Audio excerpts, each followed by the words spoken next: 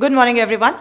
Welcome to Tecnia TV. I, Honey Shah from Tecnia Institute of Advanced Studies. Today, my topic is mass culture, a set of cultural values and ideas that arises from common exposure of a population to the same cultural activities, communications, media, music and art, etc. Mass culture becomes possible only with modern communications and electronic media. A mass culture is transmitted to individuals rather than arising from people's daily interactions. Mass culture tends to reproduce the liberal value of individualism and to foster a view of the citizen as consumer. The rise of mass culture is related to the development of mass society and the advent of mass media. So today as we are discussing the mass culture, it basically reproduces the liberal values that an individual has and it tells us how a citizen can become a consumer and what and how the mass culture is arised and it develops the society with the advent of the mass media. So ahead we'll be talking about the mass media. So next is mass society. It refers to a society with mass culture and large-scale impersonal social institutions. Even the most complex and modern societies have lively primary group social relationships. The modern network of transportation and communication is bringing various parts of mass society into frequent contacts. Thus, the mass society has aroused and enhances individuality by liberating the cognitive, appreciative, and normal capacities of individuals. This way, we can say that larger elements of population have learned to value the pleasures of eye, ear, taste, and touch. So now we'll be talking about the mass and its culture. The ancient society had a dichotomous structure. A few powerful, noble, refined, rich, and educated person pursued refined and high culture. They were the ones to form superior part of the society. The remaining part of the society was fairly large in number, was powerless, ignorant, primitive, superstitious, poor and uneducated sections of the society.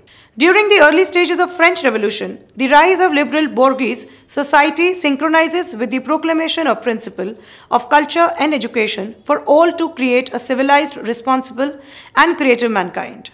The growth of the politics of freedom and the spread of education and the later the advent of the mass media not only initiated human development on different lines but also transformed the traditional society into mass society and traditional culture into the mass culture. According to the John Stuart Mill, he pointed out formerly different ranks, different neighborhoods, different trades and professions lived in what might be called different worlds. At present, to a great degree, in the same, they now read the same things, listen to same things, see the same, go to the same places, have their hopes and fears directed to the same objects, have the same rights and liberties and means of ascertaining them. So according to me, the mass culture is a set of sharing ideas and behavior patterns that cross-cut socio-economic lines and subcultural grouping within a complex society. These commonly shared ideas and behavior pattern serve as a point of reference and identification for members of the society. Mass culture is also referred to as popular culture. It is that culture which flourishes, exists, and is transmitted by the mass media.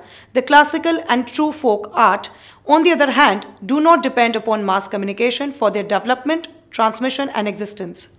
Thus, hereby, it lies the distinction between the relationship of mass media with mass culture and other strains of cultural heritage. It also requires distraction from life, thrills, sentimentality, from escapism. The bulk of mass culture deals in these qualities. But excessive communication tends to isolate people from one another and from real experience. Fabricated experiences are realer to them than the real ones.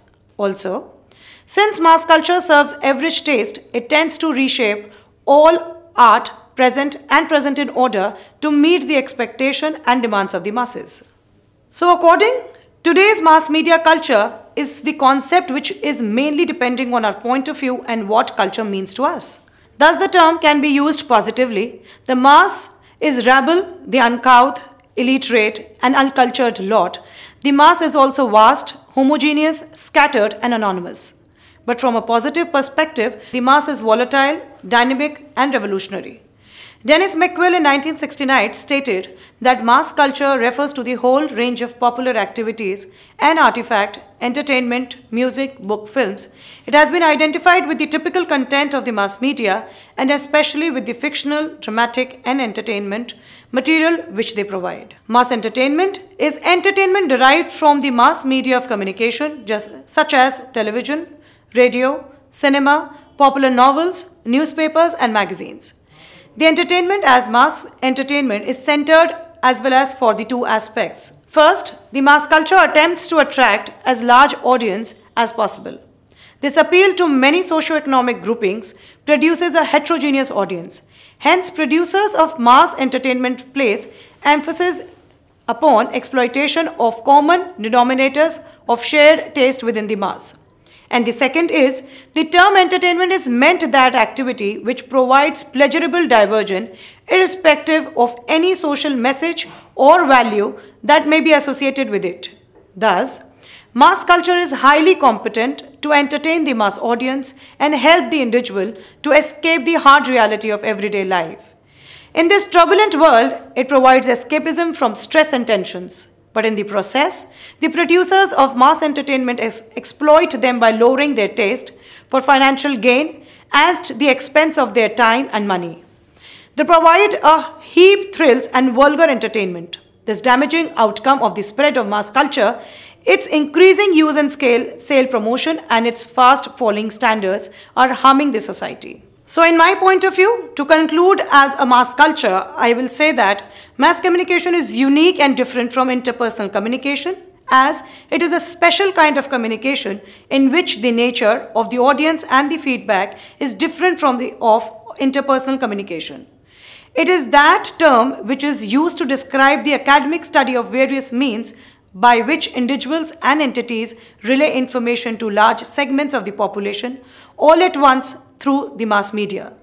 A set of cultural values and ideas that arises from common exposure of a population to the same cultural ideas, communication media, music and art, etc. For watching more videos of this sort, kindly subscribe Tecnia TV.